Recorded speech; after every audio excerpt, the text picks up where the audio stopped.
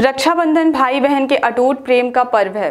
बहनें भाइयों की कलाइयों पर राखी बांधकर उनकी सलामती की कामना करती हैं। तो भाई बहनों को रक्षा का वचन देते हैं, लेकिन कुछ मजबूरियों और दूरियों के चलते कई बार भाई बहनों तक नहीं पहुँच पाते। बुरहानपुर में भी चार बहनों का इकलौता फौजी भाई राखी पर घर नहीं आ सका।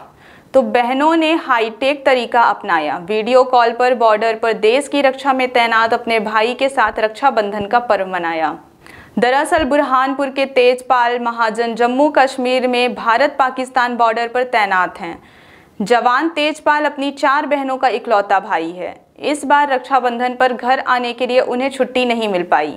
इधर बहनें राखी मनाने घर पहुँची, लेकिन भाई नहीं आ पाया। तो बहनों ने वीडियो कॉल कर अपने भाई को ना सिर्फ़ सांकेतिक रूप से राखी बांधी, बल्कि मोबाइल पर ही तिलक लगाकर आरती की और मिठाई खिलाई। भाई ने हज़ारों किलोमीटर दूर बॉर्डर से बहनों को भरोसा दिया कि छुट्टी मिलते ही वह ज़रूर घर आएँगे और सब मिलकर एक बार फिर रक्षाबंधन मनाएँगे। जवान तेजपाल की बहन पिंकी महाजन ने बताया, हम चार बहनें हैं। मेरा भाई तेजपाल महाजन निवासी रास्तीपुरा जम्मू कश्मीर की बॉर्डर पर तैनात है। इस बार रक्षाबंधन पर उन्हें किसी कारणवश छुट्टी नहीं मिल सकी तो हमने ऑनलाइन ही वीडियो कॉलिंग पर रक्षाबंधन मनाने का निर्णय लिया।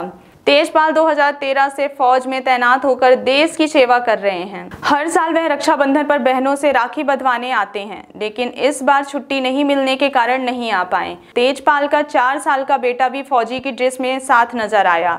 छतरपुर में एक बहन रक्षाबंधन पर अपने भाई के घर जाना चाह रही थी, लेकिन पति ने सैलरी नहीं मिलने की बात कहकर उसे कुछ दिन बाद तीज पर मायके जाने को कहा।